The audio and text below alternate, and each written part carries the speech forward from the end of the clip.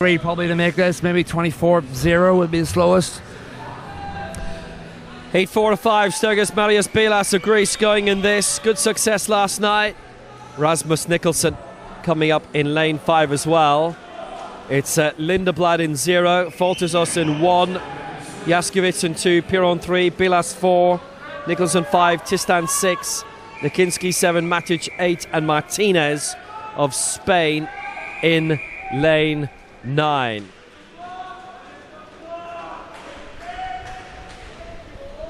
Well, Bilas taking gold in the 53 last night ahead of Leah. Bukov of Ukraine in third place. Bilas is in four here.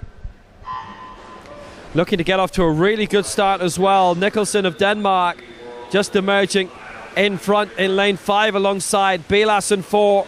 They both got off great. Tibor Tistan as well for Slovakia in lane six and in eight. Georgia Matic just falling back a little bit here. Bilas overtaking Nicholson, trying to bring it all the way to the wall. Stergios Marios Bilas in great form again. Gold last night, win this morning. Bilas one, Nicholson two, and Tistan three. Yeah, Bilas the most technically proficient there. From just me eyeballing it up here in the commentary box.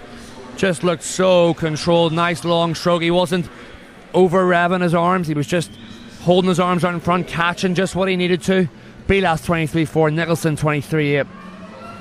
Tistan of Slovakia